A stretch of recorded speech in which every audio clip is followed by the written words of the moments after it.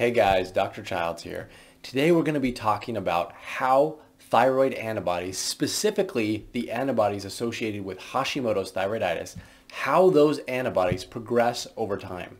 I'm going to be showing you um, a graph of really what it looks like if you do nothing with Hashimoto's what happens to your antibodies when they spike up, um, what that means for your body. And then also we're going to talk about a better scenario, and that is one in which you are taking advantage of the natural therapies that are available to you to prevent the damage from Hashimoto's. And I'm going to show you what that looks like and how that impacts your antibodies as you go along as well.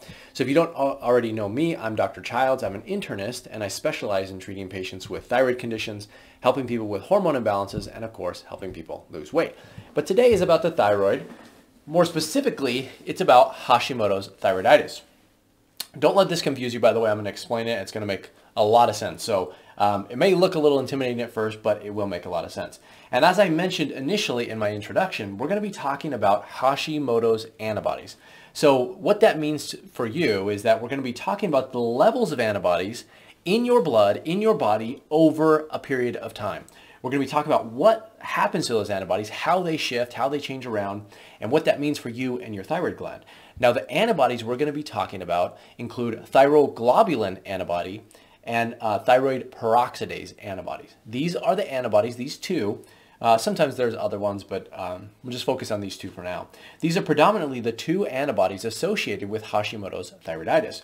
Now, you do not want these antibodies to be elevated and high in your body under most, in most cases and under most uh, circumstances, high antibodies are associated with increased thyroid gland destruction. Okay, so the higher your antibodies, the more likely you are to end up with permanent and irreversible thyroid gland damage.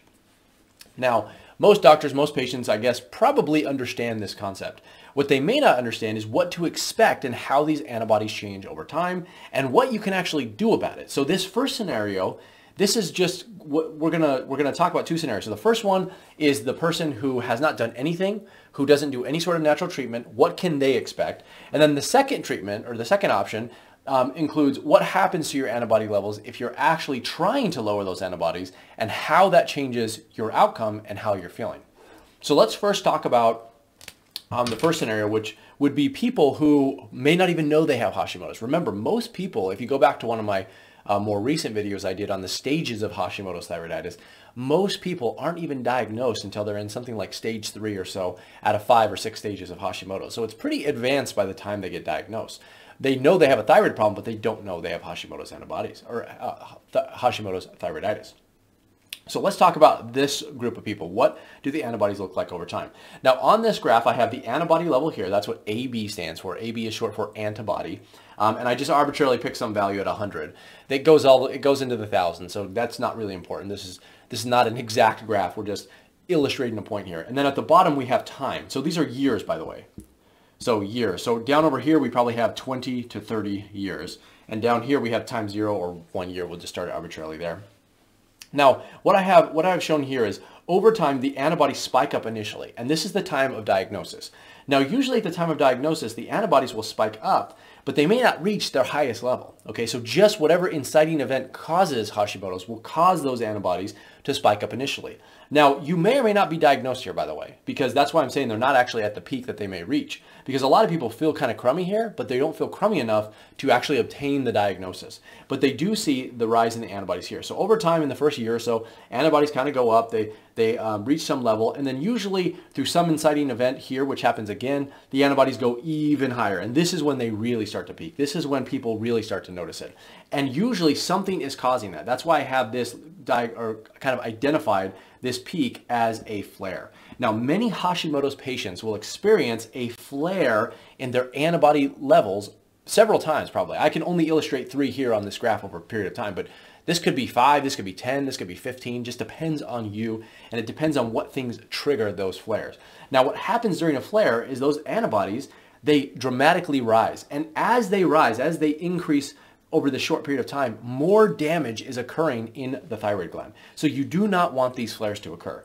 Now, invariably, they will happen, okay? Things like stress that are completely out of your control may trigger you to have a flare in your antibody levels. This could be, for instance, the death of a loved one. This could be a car accident that you got in. This could be exposure to some sort of environmental chemicals or just a buildup of random chemicals that you're running into contact with on a daily basis. Let's say, for instance, that you're a hairstylist or a hairdresser and you're doing all sorts of things with, uh, you're touching um, you know, shampoo and all these different chemicals that are getting into your skin and slowly being absorbed, and then they might reach some critical mass, and then boom, you get this flare in your antibody or in your antibodies, and then you feel it symptomatically too. By the way, so generally, as these antibodies flare up for any reason, you will not only feel worse, you'll have more symptoms, but you will also have more destruction of the thyroid gland. That's why you do not want these flares to occur. And again, I've only illustrated three here, but anytime your antibodies level peak, anytime your antibody levels peak beyond which is normal, which you would normally diagnose with, which is like around here, that indicates that you're in a flare. Okay, and again, this could happen several times. Now, to kind of show what then happens with a normal person, let's say they haven't done any treatment, they maybe are on thyroid medication at some point here. It could usually kind of happens like right around here, maybe at your, you know, let's just say 10.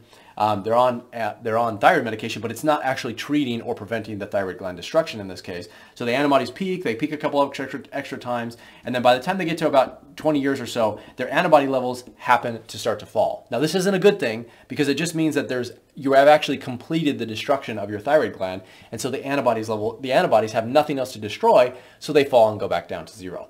Now a lot of people don't even get tested until they're right here which is pretty much too late, by the way. I, sh- I shouldn't laugh because it's not, not actually funny. It could be your situation. But it is a, a, a testament to just the inadequacies um, of most doctors as it relates to the treatment of Hashimoto's thyroiditis. So you should know that this is sort of the general outcome if you do nothing. Right? If you did absolutely nothing with your Hashimoto's, this is what it would look like. So let's compare that, by the way, to somebody who is actively trying to treat their Hashimoto's. Let's say, let's see what that looks like. So I have this here. Let me see if I can put that in the screen. Okay, perfect. So we have here the same exact graph. This blue line represents the antibody levels again, but you can see a huge difference here. So look, so in the very beginning, we have the, the same thing happens to both people. They originally get diagnosed with the disease, right? So the diagnosis was here and the diagnosis is here. So they, or, or not even necessarily diagnosis, but the inciting event of the disease. They, they know that something's wrong and the antibodies levels start to peak. Now here is where things take a different curve. Um, in this case, the antibody levels go up because they haven't done anything, this person hasn't done anything to address the immune components of Hashimoto's. But this person is actually doing something about treatment.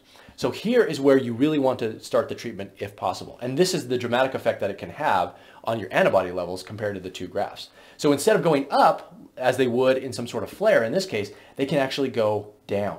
Now that is really I'm gonna pay. I'm gonna talk about this for a second, but I don't want you to focus on it too much. So generally speaking, if you can, the lower your antibodies in Hashimoto's, the better. And anything that you can do treatment-wise to help drop those antibodies, the better you will feel and the less thyroid gland destruction that you may have. Now, this isn't a hard and fast rule though, so I don't want you to freak out about it. There are many people, some people, I shouldn't say many, but there are some people who have elevated thyroid antibodies who spike really high, but they don't actually have any thyroid gland destruction. So they're not always representative of thyroid gland destruction, but usually they are. So I just want to throw that out there because somebody I know for sure will leave a comment and say, I have elevated antibodies, but my thyroid is fine. That does happen. It absolutely happens. It's not common, but it does happen. So what happened here that was different between this person and this person?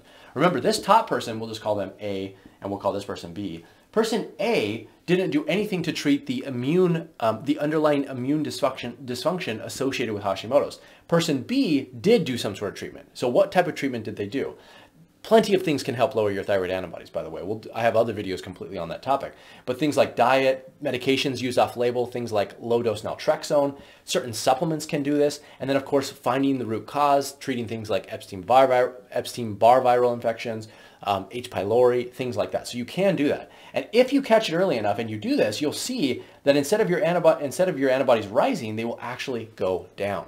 So you can see that the antibodies then start to take a dip and they reach some level, which is probably still perceptible or you can actually, you can test for it, but it's very low. So let's say it's 10 to 15. So instead of having, um, you know, way up here at the same time period, let's say arbitrarily it's 100, it may be in the 10 to 15 range here. So there is probably some low grade damage occurring to the thyroid gland, but nowhere near to the extent that is occurring there. Now again, remember, invariably, no matter what, even if you do all these things, it's still very possible and probable that you will have flares. But, and here's an important distinction, if you have a flare and you're actively treating like person B is, the flares will be much more minor. They will not be the huge uh, you know, peaks that you see up here. They'll just be a tiny little dip right here. So the antibodies will raise above which you are normally expecting, you know, above that which you normally live at, but they're not going to be sufficient enough to cause the same damage that occurs with person A. This is the reason that it's so important for you to manage your Hashimoto's as early as you possibly can and to manage those thyroid antibodies. Now, again, like I said, compared to person A, you will have a couple of flares. I've only included two here, but you can see this is a flare, this is a flare. The antibodies go up a little bit, then they go back down because you may have to be a little more aggressive during this time period with the supplements you're taking. You may have to readdress things like H. pylori, H. pylori or EBV infections and things like this. You may have to increase your dose of LDN temporarily. You can manage those flares. You may have to reduce your stress and so on. And as you do, you should see those antibody levels drop again until the next flare, right? Because like I said, sometimes those are completely outside of your control. You can't control it if someone's, your loved one is going to pass or you, like you said, you get in a car accident or something like that. You, you're not going to be able to control those and they may result in a flare. But what you can do is you can control those treatments which helped lower your antibodies in the beginning. And I want to say whatever worked for you the first time is likely to work for you subsequent times. So every time you're you know experiencing a flare, you can go back to these tried and true treatments, whatever worked initially, and they should help you reduce those um, the antibody levels as well. Now, in this case, we also see a, a decline in the antibody level right here. Um, that's usually because once you get things under control, uh, this isn't this isn't the same reason that you see up here. Remember, person A had complete destruction of the thyroid gland due to, due to end-stage Hashimoto's, whereas this person just reduces their antibodies and they stay low. And hopefully, if you can do it this way, you will not ever reach this end-stage Hashimoto's, which means that you'll be in a much better position than person A was. So this is really what is happening and why um, really, this is what's happening to patients who have Hashimoto's thyroiditis and their antibody levels. Now, this may not be a perfect representation of you, by the way. So this is just the goal. B is the goal. A is what you completely want to avoid. But you could still have spikes, you know, here or there. Things could be higher. Um, that does happen from time to time. I've treated a lot of Hashimoto's patients and everyone is a little different. But this is the goal. So you want it to look as close to B as you possibly can. So if you have any questions about your antibody levels, what they mean, how they've changed over time, um, leave them in the comments below. And I would recommend that if you have Hashimoto's, you should get them checked at least once or twice a year. I like to do that at least once or twice a year. And I actually keep them in a in a uh, in a file and graph them out for my patients on it um, when necessary. You don't always have to if they're always negative or low, but you can actually see these um, these flares and these peaks, um, what I'm as I'm mentioning them to you, you can see them much like this. If you plug them into a graph and just if you have enough values, you can actually see what is happening to the antibodies over time. So do that if you can because it's actually very helpful and you can look back in time and think what happened at this point? What happened in 2005 or 2012 or whatever year it was? And you might think back and be like, oh yeah, I remember that I had, you know, X or Y happen and this explains why my antibodies raise.